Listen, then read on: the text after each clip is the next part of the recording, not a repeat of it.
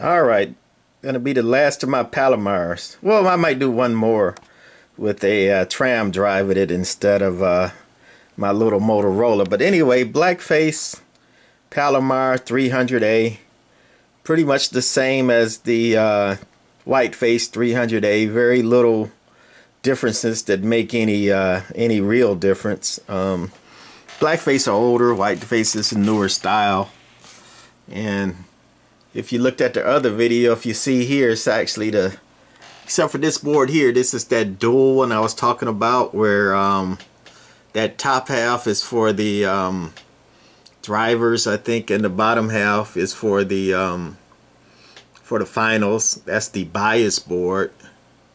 And quickly over here again, power supply board has the two big caps and diodes and bleeders there for the high voltage that's a voltage doubler. And every one I've seen has been a voltage doubler like this. I haven't seen any that um, were the high voltage bridge version. And also that's the uh, that's actually a little diode there and uh, cap for the low voltage that you know runs the lights and the preamp and uh, the uh, relays. This one has the high voltage relay that um, only fires up the high voltage when the um, amp is keyed up. Other than that, the um, the um, high voltage is not applied to the high voltage board. It comes out the transformer and one of the legs go to that uh, relay first and then into the high voltage board. So the high voltage isn't even active until it's keyed up. And I think I went through this before on one that uh, this one also has the standby switch for the high voltage also is not applied with the um, when the standby switch is on standby. So it's got one of the legs going through the um, standby switch too which is redundant to me makes no sense but um I'm no engineer. I mean if you got that relay and it only uh, uh, high voltage is only active when you key down the relay uh, what sense do it make to run it through the standby switch too? But anyway on most of the versions. Maybe they figured it out. I don't know because um, most of them they do not have the high voltage going through the standby switch. It's a normal two pin switch like that one. That's the power switch. But on the later ones, it's got a two pin and it, and it doesn't have that four pin there with a high voltage going through it. But anyway, I wasn't going to be long-winded on this one. I just wanted to fire up a, a Blackface 300A. Um, Gonna turn it down. And I guess people like to see pictures of the insides. Call that amp porn.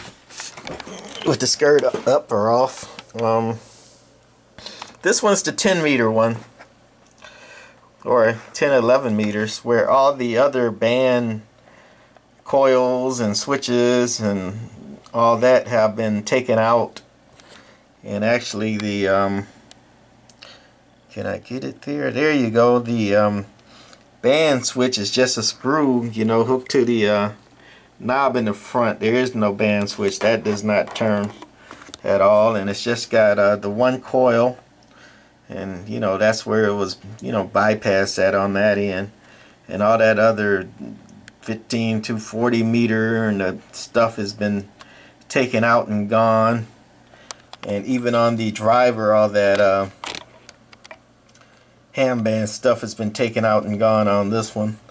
Um, the fan wasn't working or wasn't working well so um, put in a muffin fan so this one got more airflow than that old uh, I don't even know what type of fan that open frame fan, fan that they normally come up with and one of the little tidbit I found is you see the um, caps or the end of these tubes and see how wide they are compared to that one?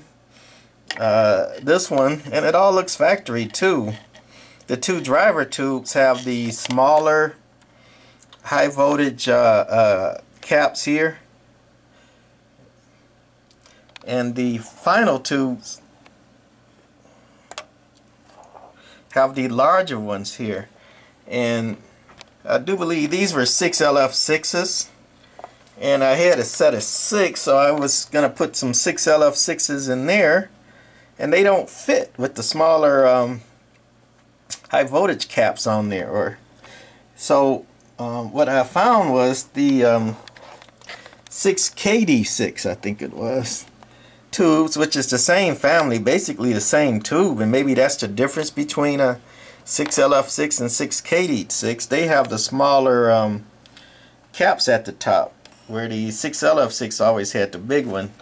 Um, one other thing I found that if you see the bottom of those 6KD6s is big at the bottom so that tube will fit either the small one there or the big one and the big one of course will not fit the small one so I thought that was kind of interesting. Um, everything else is kind of straightforward.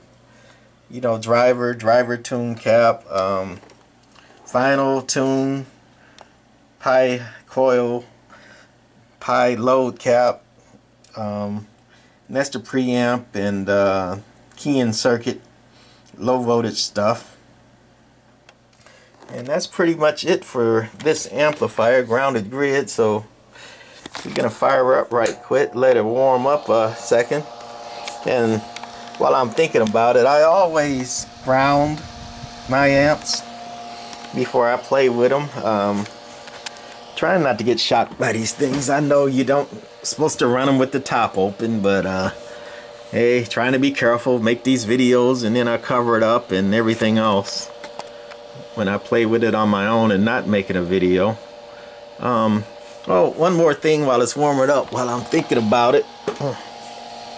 It's probably easier to see it from the up underside but I'm not gonna mess with it now that I got it on. But this amp has a lot of uh, screws like that one that one.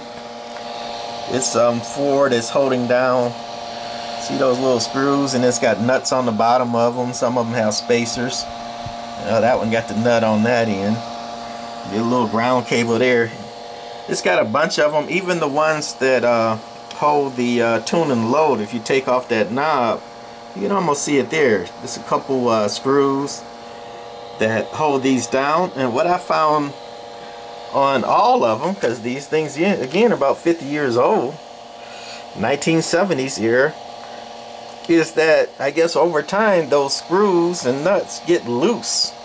And that's basically your grounds uh, for these amplifiers I know Demco's the same thing you can see a couple other nuts well one there's one behind the tube but uh, those screws and nuts um, are the grounds for a lot of the boards. It's the grounds that hold the um, the the uh, tune and load cap. So when those screws get loose, basically you're gonna start getting hiccups and and and problems and all that. And uh, basically all it is is a screw loose. So I recommend anybody get one to you know unplug it, wait for it to discharge. It's got good bleeders in it and and then uh, tighten all your screws and nuts including the ones behind the uh, tune and load cap there take your um, knob off and tighten up all your screws and nuts that'll help this amp out a lot.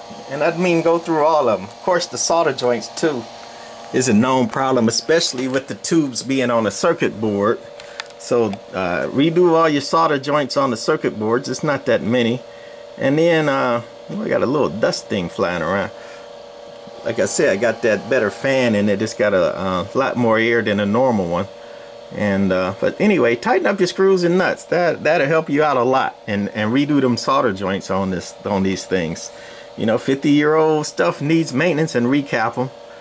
Uh, that's basically what I did to these. And uh, guess we're gonna fire it up now we're on uh, average no we're on peak dead can 200 hello hello audio talking to five maybe a little over five audio. Audio. And again I forgot I got this stupid watt meter in between. I don't have to uh, unkey it to show you what's going into it. This watt meter is in between the amp and the uh, radio. It's on the input side, so that 2.3 on the left, when I shut my mouth, That's 2.5 now. That's the dead key going into the amp. And then the input SWR on this one is a 1.1. Isn't that nice? One other thing I found when I was playing with this one is when you adjust the driver, I had a, uh, a, little bit of a time getting that tuned up right, but when I finally got it right, my input SWR went haywire again. I'm like, how did that happen? And what it is, they interact with each other. You know, you tune the driver, the input, the SWR, you know, you need to retune it a little bit. And same with the uh, uh, the finals. You know, once you get them tuned up, you might have to go back and touch up the um, the uh, driver tune. So they all interact with each other a little bit, but that's what I'm putting in, about two and a half watts dead key. Audio, audio, audio. Talking about five and three quarter. Barely hitting six on a whistle, so I'm not hitting it hard.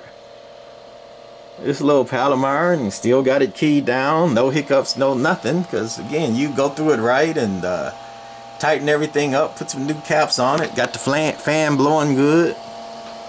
Things aren't overheating.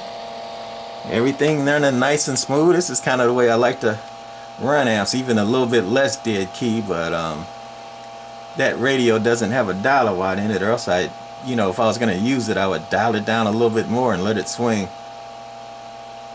So, you know, study at 250, talking over about 550 now, heating up nicely. Gonna put it on average. Damn. Kids getting no audio. Audio. A little over 200 audio. Talking to almost three. And this is calibrated to a bird on average. Audio. Audio. Audio. So I guess that's gonna be it for this uh, smooth running preamp works. Everything works on it. Not the prettiest thing you ever seen but uh, you know it's been gone through recapped and uh, another smooth talker. Like that input SWR too. Alright that's it. Bye